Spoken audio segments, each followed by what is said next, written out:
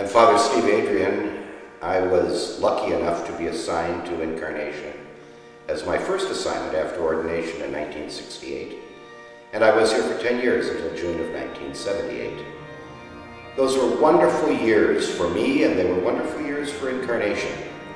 This was the period of time just after the Second Vatican Council when a whole variety of new energy emerged in the life of the church and new opportunities. For instance, I was lucky enough to be here for the birth of the, the first Incarnation Parish Council and the struggles as well as the joys that were part of men and women of the parish representing the parish coming together to seek to make policy and to seek to set direction for the life of the parish. It was also an era in which Incarnation became very active with the community at large. Um, the Twin Cities organization was a community-based organization that Incarnation played a part in. I remember specifically one of the issues that uh, really struck in this parish was the ability of people to obtain loans in order to purchase homes. And what became clear is that there were some banks that were redlining certain areas of the city of Minneapolis and charging higher interest rates in those areas than in other areas. And through the work of the Twin City Organization, through the work of Incarnation and many other churches like Incarnation, uh, we were able to, um, to address that and to be able to get some justice and equity with regard to uh, people's ability to purchase housing. Education took a, a great stride during those, those years. Um, clearly, principally the work of the Dominican uh, sisters uh, and under the direction mostly of, uh, of Sister Marion McCarthy and Sister Guinevere. Uh, the school grew, the school expanded, the, uh, the style of education developed into a, a much more interactive style of education. Parents were brought into the religious education of their kids more seriously. Uh, parents participated in the preparation of children for, uh, for baptism and for First Communion and for First Confession. And that was, a, that was a new effort on the part of the church. It took some getting used to. Some parents were uh, a little bit sheepish about doing that, not thinking it was their role, and they had to be helped along the way to see how that truly was part of a parent's responsibility in cooperation with the school or a religious education program, that there was a, a partnership between the home and the parish. Um, those were wonderful years for uh, incarnation. As I was thinking back, I remember it was, it was 40 years ago now when this parish celebrated its 60th anniversary.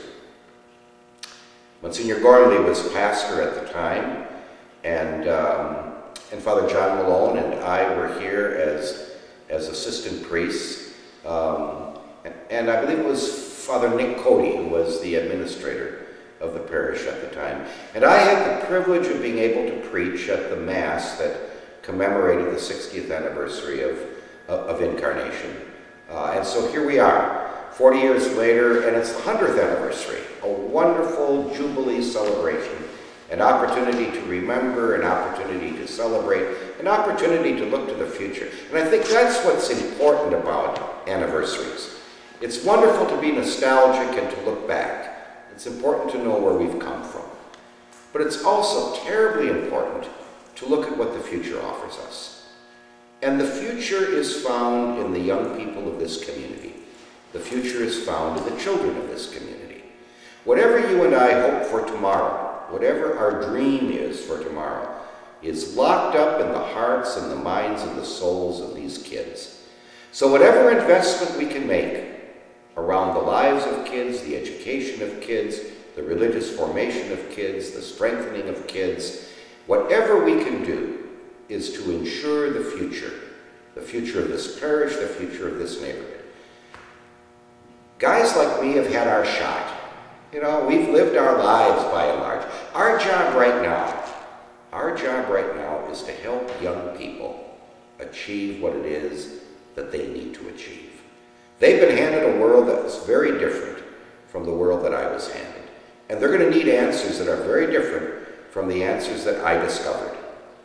The point is, though, they're also going to need adults who are going to take them by the hand and assure them and lift them up, admire them, encourage them uh, to be the people that God wants them to be.